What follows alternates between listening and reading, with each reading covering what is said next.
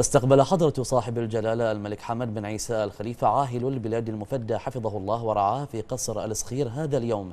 استقبل سعادة السيدة فائقة بن سعيد الصالح وزيرة الصحة وعددا من العاملين في الوزارة. وفي مستهل اللقاء تشرف الجميع بالسلام على جلالة الملك المفدى.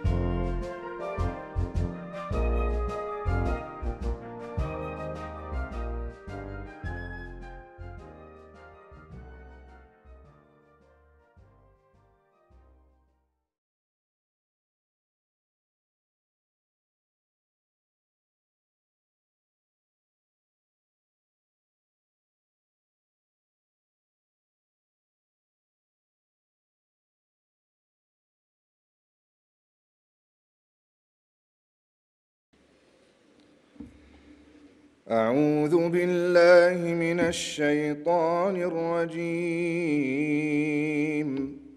بسم الله الرحمن الرحيم. وننزل من القرآن ما هو شفاء ورحمة للمؤمنين. ولا يزيد الظالمين إلا خسارا. وإذا أنعمنا على الإنسان أعرض ونأى بجانبه وإذا مسه الشر كان يئوسا.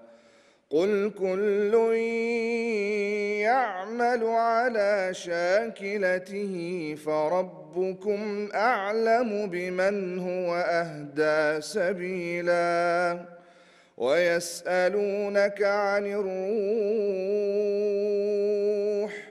قل الروح من أمر ربي وما اوتيتم من العلم الا قليلا ولئن شئنا لنذهبن بالذي اوحينا اليك ثم لا تجد لك به علينا وكيلا إلا رحمة من ربك.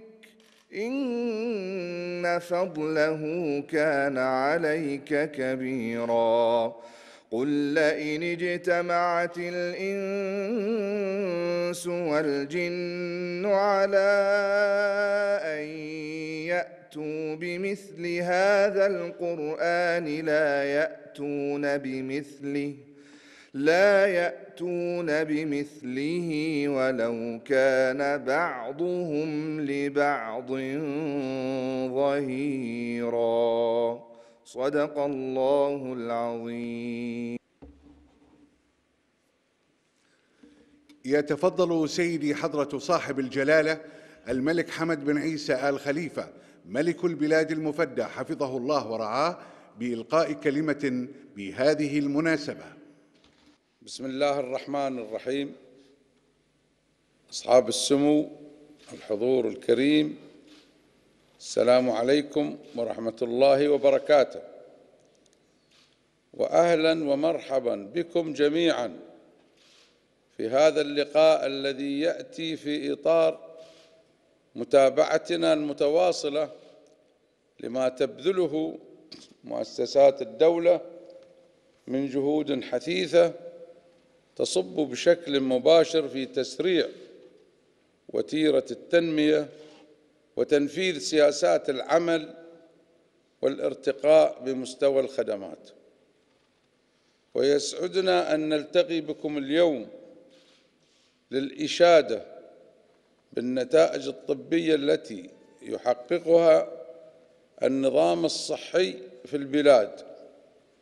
بإدارة موفقة وجهود واضحة للوزارة ممثلة في سعادة الوزيرة فايقة الصالح وفريق عملها.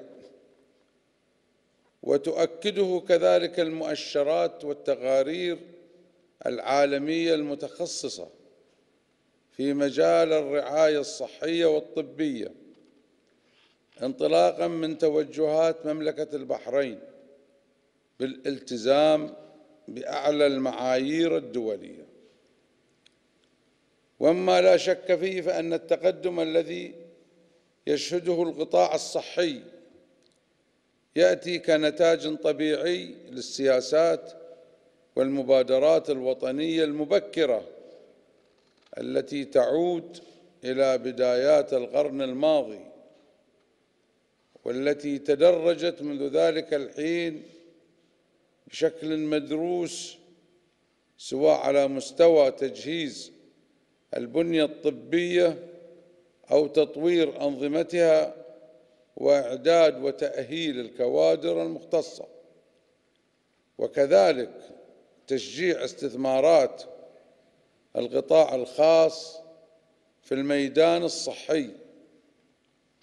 مشيرين هنا إلى أهمية الدور الذي تتولاه الهيئات المتخصصة في الإشراف والرقابة وفي مقدمتها المجلس الأعلى للصحة الذي يتولى رئاسته مشكورا معالي الدكتور الشيخ محمد بن عبد الله بن خالد آل خليفة.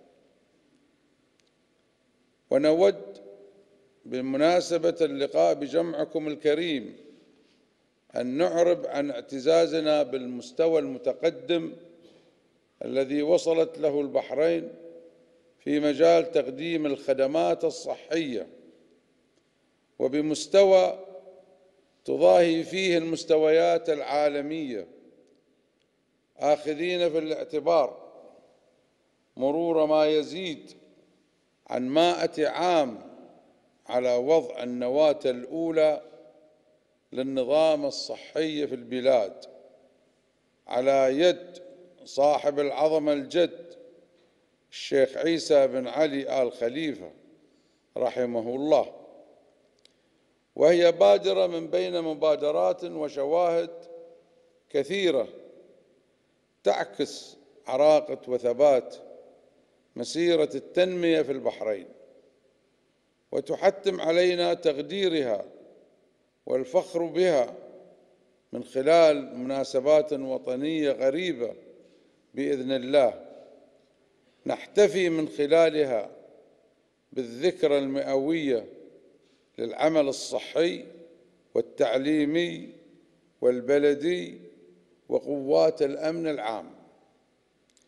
وفي الختام يطيب لنا أن نبارك لكم جهودكم ونشكركم جميعا على ما تقومون من عطاء مقدر لرفع الأداء وتقديم المزيد وبما ينسجم مع التطور المتسارع لمجالات التنمية في البلاد مع التركيز المستمر على جوانب الوقاية قبل العلاج وتمكين الأفراد من الاعتناء بصحتهم والارتقاء بجودة حياتهم ولتبقى الصحة بإذن الله تاج على رؤوس الجميع.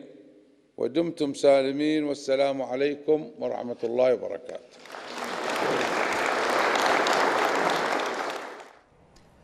ثم ألقت سعادة السيدة فائقة بن سعيد الصالح وزيرة الصحة كلمة بهذه المناسبة.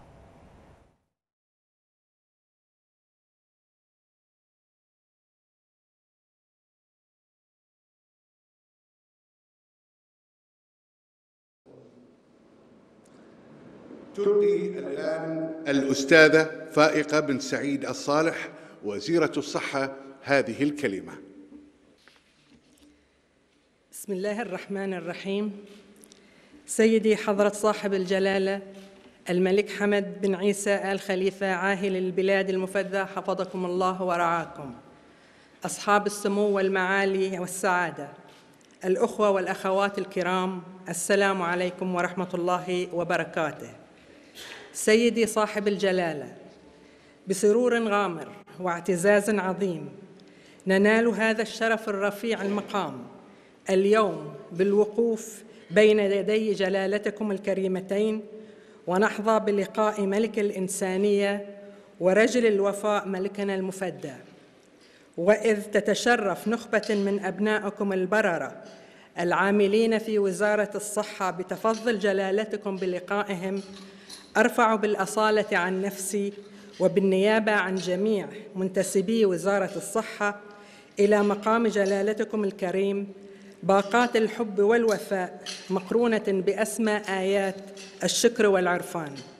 لما تولونه جلالتكم حفظكم الله ورعاكم من دعم واهتمام لا محدودين لوزارة الصحة وكوادرها. أسهم في تحفيز الجهود وشحذ الهمم والطاقات وإثراء الخطط الصحية الرامية إلى تحقيق تطلعات جلالتكم لتوفير أفضل الخدمات الصحية لأبناء مملكتنا الحبيبة شاكرين ومقدرين لجلالتكم استقبالنا اليوم في قصركم العامر. سيدي صاحب الجلالة مضى ثمانية عشر عاماً مليئاً بالخير والعطاء في ظل عهد جلالتكم الميمون والمسيرة الصحية المباركة تحقق تقدما كبيرا في مملكتنا الغالية يوما بعد يوم على الصعيد المحلي والإقليمي والدولي. وتشهد نقلة نوعية ببرامجها وخدماتها بما تتواكب مع مستجدات العصر ومتغيراته ضمن منظومة الحكومة الموقرة بفضل ما تلقاه من رعاية واهتمام من جلالتكم ومن لدن سيدي صاحب السمو الملكي الأمير خليفة بن سلمان آل خليفة رئيس الوزراء الموقر وسيدي صاحب السمو الملكي الأمير سلمان بن حمد آل خليفة ولي العهد الأمين. حيث تضعون صحة المجتمع البحريني وراحته على رأس الأولويات. إن التطور الذي حدث في وزارة الصحة يتمثل في فترة هي عمر مشروع العهد الإصلاحي. فمنذ أن توليتم جلالتكم مقاليد الحكم سارعتم في طرح ميثاق العمل الوطني الذي أجمع عليه شعب البحرين قاطبة. ومن خلاله انطلقت المملكة في وضع الدستور الذي أقر طبيعة الحكم وطبيعة الدولة وصاغ جميع المتطلبات والمبادئ الأساسية للحياة الاجتماعية والثقافية والسياسية والعلاقات الداخلية والخارجية. فميثاق العمل الوطني والدستور وضع ركيزة انطلاقة الرعاية الصحية والاهتمام بمنظومة الصحة في هذه المملكة. فقد أشار ميثاق العمل الوطني أكثر من مرة إلى قضية الصحة وأهمية توفيرها في البلاد وإنها أحد متطلبات الدولة وأشار الدستور أيضا إلى الرعاية الصحية وسبل تطويرها ونموها. فالدولة بمصاحبة مشروعكم يا جلالة الملك وضعت قاعدة لتطور الصحة في بلادنا وقد تترجم ذلك بالفعل في نواح كثيرة. وينسجم هذا التأسيس مع ما تضعه الأدبيات الدولية لأهمية الصحة في التنمية الإنسانية. ولا تكاد تخلو التقارير الخاصة بالتنمية الإنسانية من إعطاء موضوع الصحة أهمية بالغة. سيدي صاحب الجلالة اليوم حين نتطلع إلى ما حققته مملكة البحرين في مجال الصحة سنجد أنفسنا أمام زخم من التطور الذي نستطيع أن نربطه بالفترة التي بدأ فيها مشروع العهد الإصلاحي حتى الآن. فقياس النمو الحادث هنا في هذه الفترة يعطي انطباعا سريعا بأن منظومة الصحة أصبحت لها فاعلية كثيرة في توجه المملكة وهناك أرقام كثيرة تعتبر المؤشر الواضح على ذلك من حيث عدد الأطباء والممرضين والممرضات وعدد العاملين في المهن المساعدة والكادر الإداري وعدد مراكز الرعاية الصحية الأولية والمستشفيات التي انتشرت في جميع أنحاء مملكة البحرين والتجهيزات الطبية والفنية. وختاما إن لقاء جلالتكم اليوم ما هو إلا وسام شرف على صدورنا العامرة بالإيمان ويمنحنا مزيدا من العزم والإصرار للمضي قدما لما فيه خير مملكتنا الحبيبة متطلعين إلى جلالتكم بما عهدناه من رعاية سامية وتوجيه ودعم. فلكم يا صاحب الجلالة عظيم الشكر والعرفان. سائلين المولى أن يحفظكم ويحفظ مملكتنا الحبيبة ويسدد على طريق الخير خطاكم. والسلام عليكم ورحمة الله وبركاته.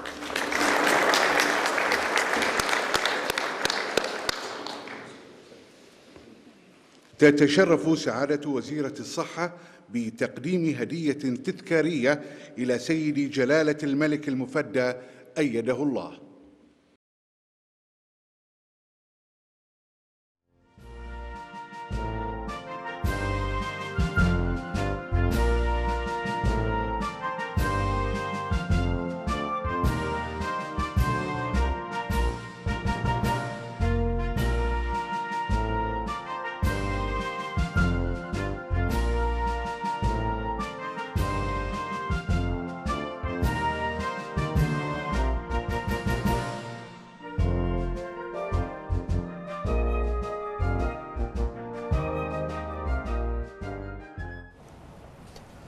وقد أقام صاحب الجلالة حفظه الله مأدبة غداء تكريما لمنتسب وزارة الصحة.